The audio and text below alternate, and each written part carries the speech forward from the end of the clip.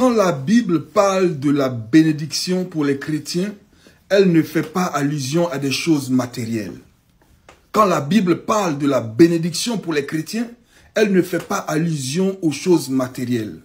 La Bible dit dans le livre de Éphésiens, Béni soit Dieu, le Père de notre Seigneur Jésus-Christ, qui nous a bénis de toutes sortes de bénédictions spirituelles en Christ dans les lieux célestes. La Bible parle de bénédictions spirituelles pour les chrétiens et non de bénédictions matérielles.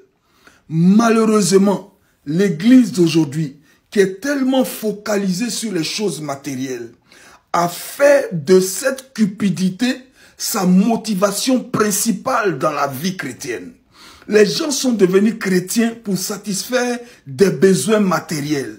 Et des chrétiens se réunissent par dizaines, par centaines, voire par milliers dans des réunions de prière, des veillées, des, des, croisades de prière. Les gens prient, les gens jeûnent, les gens s'égosillent. Et tout cela tourne autour de la satisfaction de besoins matériels. Or, la bénédiction dont la Bible parle n'est pas une bénédiction matérielle. C'est une grosse distraction de l'ennemi de faire croire à l'Église que la bénédiction est matérielle. Regardez avec moi. Il y a des gens sur cette terre qui sont ennemis de Dieu, qui sont étrangers aux choses de Dieu, qui sont rebelles aux choses de Dieu, qui sont pécheurs, qui sont impies. Voici comment la Bible décrit les païens. Il existe des hommes et des femmes dans cet état, mais qui jouissent en abondance. Mais je dis bien en abondance exponentielle, en abondance de ces choses pour lesquelles les chrétiens prient et jeûnent matin, midi et soir.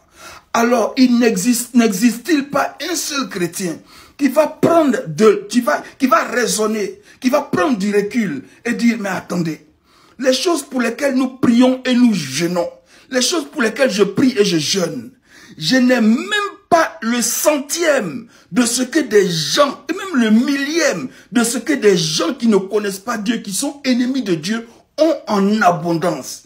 Il y a quelque chose qui ne va pas. Oh, la Bible dit que je suis béni.